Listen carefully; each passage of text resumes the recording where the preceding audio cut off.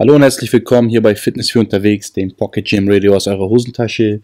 Es ist mal wieder soweit, ich bin's, euer Rodrigo und wir sind hier wieder für eine weitere Gym Talk Runde. Heute das Thema, wie bringe ich Variationen in mein Training? Ich habe neue Möglichkeiten für euch, wie ihr das hinbekommt. Viel Spaß dabei.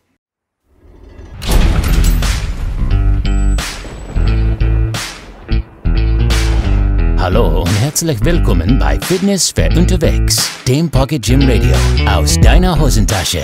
Hier erfährst du, wie du fit, gesund und motiviert bleibst. Heute der Gym Talk mit Rodrigo Silva.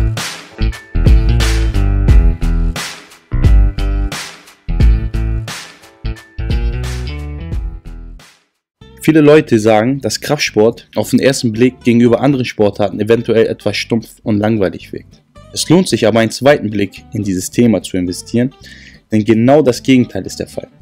Ohne Variation und Änderung im Detail wirst du früher oder später ein Plateau erreichen. Du musst deinem Körper stetig neue Herausforderungen geben.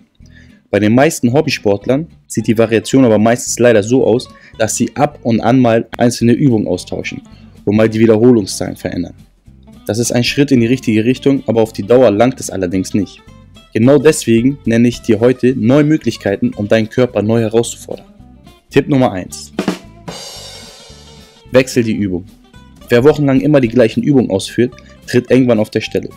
Zu Beginn ist es überhaupt kein Problem, die ersten 8 bis 10 Wochen immer das gleiche Training abzuspulen. Nach diesen 8 bis 10 Wochen empfehle ich dir allerdings, dich auf neue Übungen zu konzentrieren. Statt Maschinen kannst du jetzt zu den freien Übungen wechseln. Sie sind etwas anspruchsvoller, sie belasten zusätzlich Stützmuskulatur und erfordern Koordination. Solltest du bereits mit freien Gewichten zugange sein, dann benutze statt der Langhantel nun die Kurzhantel oder umgekehrt. Beispielsweise beim Brusttraining, wenn du ein paar Wochen Bankdrücken mit der Langhantel gemacht hast, dann mach es nun mit der Kurzhantel. Wenn du bereits zu den fortgeschrittenen Athleten gehörst, dann empfehle ich dir sogar, dass kein Training wie das andere ist. Variiere von Einheit zu Einheit deine Übung, um nicht in die Gewohnheit zu verfallen. Tipp Nummer 2. Wechsel den Wiederholungsbereich. Neue Reize kannst du durch verschiedene Wiederholungsbereiche erzielen. Der klassische Muskelaufbau findet bei 8 bis 12 Wiederholungen statt. Es macht dennoch Sinn, auch mal etwas tiefer in die Wiederholung zu gehen, zum Beispiel 3 bis 5. So kannst du mehr Gewicht bewegen und deinen Körper neu fordern. Eine höhere Grundkraft wirkt sich positiv auf die anderen Wiederholungsbereiche aus, da du nun auch von dort mehr Gewicht verwenden kannst. In die andere Richtung lohnt sich das Experimentieren auch. Du kannst durchaus auch mal 15 bis 20 Wiederholungen machen. Gerade beim Beintraining macht das Sinn. Die Beine sind ein Thema für sich. Sie tragen uns den ganzen Tag durch die Gegend und sind leichte und dauerhafte Belastung gewöhnt. Da darfst du gerne ausprobieren, welcher Wiederholungsbereich dir den größten Muskelwachstum beschert. Die Muskelfaserzusammensetzung unterscheidet sich von Mensch zu Mensch, in den Beinen teilweise deutlich. Von daher darfst du deinen optimalen Weg finden. Ein hoher Wiederholungsbereich hat den Vorteil, dass du den Muskeln im Idealfall besonders gut triffst und die Übung sehr sauber ausführst. Das liegt einfach daran, dass du dich nicht am Limit bewegst und dich voll und ganz auf deine Ausführung und dein Muskelgefühl konzentrieren kannst. Probiere einfach alles mal aus. Tipp Nummer 3. Nutze Intensitätstechniken. Es gibt unzählige Möglichkeiten durch Intensitätstechnik nochmal alles aus deinen Muskeln rauszuholen.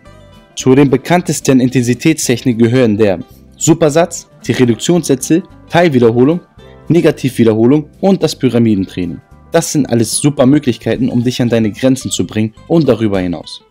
Zu den Intensitätstechniken gibt es nächste Woche eine extra Folge. Da darfst du gespannt sein. Tipp Nummer 4. Verwende Widerstandstraining. Neben dem klassischen Gewichtstraining kannst du durch verschiedene andere Widerstände deinen Körper vor neue Herausforderungen stellen. Wie wäre es zum Beispiel mit den Kettlebells? Durch die schwunghaften Bewegungsabläufe beim Kettlebell-Training wird dein Körper völlig neuen Belastungen ausgesetzt. Oder hast du in deinem Studio diese Eisenketten, die du an deine Langhantelstange hängen kannst? Wenn ja, dann sind sie definitiv ein Versuch wert. Nehmen wir zum Beispiel mal wieder das Bankdrücken. Das Geile an den Ketten ist, dass je weiter du die Langhantel nach oben drückst, desto mehr Gewicht kommt durch die Ketten hinzu. Der Widerstand steigt dynamisch an. Du erschwerst dir damit den Teil der konzentrischen Bewegung, der eigentlich leichtere Teil. Was ich damit meine, normalerweise ist der schwerste Punkt beim Bankdrücken der, bei dem du anfängst hochzudrücken. Hast du es erstmal geschafft, sind die letzten 50% der Druckbewegung ein Kinderspiel. Bei Verwendung der Ketten ist das nicht mehr der Fall und dein Muskel ist über die ganze Bewegungsdauer maximal belastet. Den gleichen Effekt hast du, wenn du Gummitubes verwendest. Das sind Widerstandsbänder aus Gummi. Den Effekt kannst du dir wie bei einem handelsüblichen Gummiband vorstellen. Diese Bänder gibt es in verschiedenen Widerstandsstärken. Tipp Nummer 5. Lerne von anderen Sportarten. Ein Blick über den Tellerrand kann dir neue Ideen und Möglichkeiten für dein Training geben. Darüber hinaus kannst du durch die Ausübung anderer Sportarten eine Menge Fähigkeiten erlernen, die dich auch in deinem Krafttraining voranbringen. Beim klassischen Bodybuilding ist das Ziel, besonders viel Muskelmasse zuzulegen und wenig Körperfett zu haben. Beschäftige dich doch darüber hinaus doch auch mal mit Powerlifting und trainiere deine Kraft. Das hilft für dein Muskelaufbautraining, indem du nun auch bei 10 Wiederholungen ein höheres Gewicht bewegen kannst und du dein Plateau überwindest. Tipp Nummer 6. Optimiere dein Trainingsprogramm. Sobald du merkst, dass du seit Wochen auf der Stelle trittst und mit den Gewichten nicht weiter hochkommst, kann ein Wechsel deines Trainingsprogramms Sinn machen. Wir unterscheiden dazwischen drei verschiedenen Varianten. High Volume Training, HVT. Einfach ausgedrückt bedeutet HVT einfach nur, dass du an einem Trainingstag eine Muskelgruppe mit besonders viel Volumen belastest. Volumen bedeutet mit besonderen viel Übung und Sätzen. Das HVT ist dementsprechend auf ein Split-Training ausgelegt, sodass du jede Muskelgruppe pro Woche nur einmal reizt, dafür aber mit gewaltig viel Volumen. High Frequency Training, HFT. Beim HFT wird jede Muskelgruppe so oft es geht trainiert, dafür aber mit wenig Volumen, sprich wenigen Sätzen und Übungen. Idealerweise in einem Ganzkörpertraining, bei der du jede Muskelgruppe mit nur einer Übung belastest, dafür aber so gut wie jeden Tag. High Intensity Training das altbekannte HIT, wird optimalerweise bei einem Ganzkörpertraining eingesetzt. Du machst von jeder Übung nur ein bzw. maximal zwei Sätze. Dieser Satz wird bis zum absoluten Muskelversagen ausgeführt, bis gar nichts mehr geht. Dann ist erst Feierabend. Tipp Nummer 7. Trainiere ab und zu nach Instinkt. Wenn du immer gleich trainierst, die gleichen Übungen in der gleichen Reihenfolge abspulst und so weiter, dann weiß dein Körper irgendwann bereits, was passiert. Er stellt sich darauf ein passt sich an und deine Fortschritte bleiben aus. Letztendlich ist der Körper eben ein geniales Werkzeug. Er will Energie sparen, wo immer es geht. Training nach Instinkt durchbricht diesen Teufelskreislauf. Da du selber vorher nicht genau weißt, was du trainieren wirst, weiß dein Körper das erst recht nicht. Er kann sich auf nichts einstellen und du stellst ihn immer wieder vor neue Herausforderungen. Das ist eine geniale Möglichkeit für neue Wachstumsreize. Trainiere einfach die Übung, die zu der jeweiligen Muskelgruppe gerade in den Sinn kommt oder auf die du einfach besonders Bock hast. Genauso verhält es sich mit den Wiederholungszahlen. 5, 8, 10, 15, scheißegal, das worauf du gerade Bock hast. Langfristig ist das keine besonders gute Trainingsmethode, aber um deinen Körper mal zu schocken, ist das extrem wirkungsvoll. Tipp Nummer 8. Trainiere bilateral und unilateral. Erst einmal zur Erklärung. Bilateral bedeutet zweiseitig, unilateral heißt einseitig. Bilateral ist es zum Beispiel die Kniebeuge, bei der beide Beine gleichzeitig arbeiten. Unilateral wäre hingegen die Split Squats, bei denen du nur ein Bein zur Zeit verwendest. Bilaterales und unilaterales Training unterscheiden sich grundlegend voneinander. Sie setzen verschiedene Reize und stellen unterschiedliche Anforderungen an deine Muskulatur. Du solltest mit beiden Ansätzen ab und an in deinem Training herumexperimentieren, um aus beiden Ansätzen das größte Potenzial auszuschöpfen. Tipp Nummer 9. Trainiere wie ein Profi.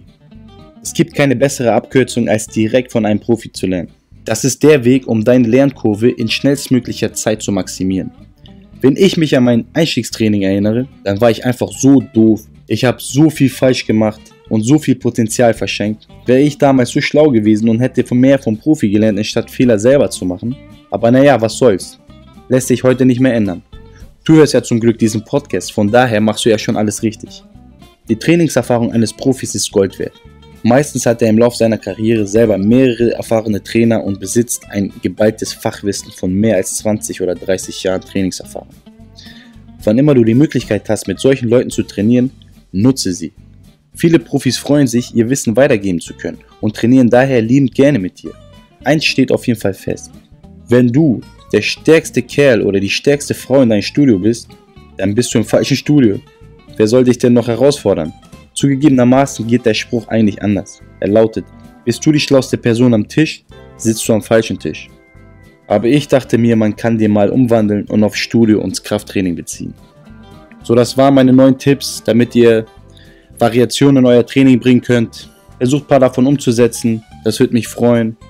Lasst mir auch wie immer gerne eine Bewertung da. Den Link findet ihr wie immer unten in der Beschreibung. Besucht uns auch gerne mal auf www.fitnessfürunterwegs.de oder auf Facebook. Das ist der identische Name. Und ja, schaltet gerne nächste Woche wieder ein. Das war's von mir. Bleibt fit, Leute. Ciao.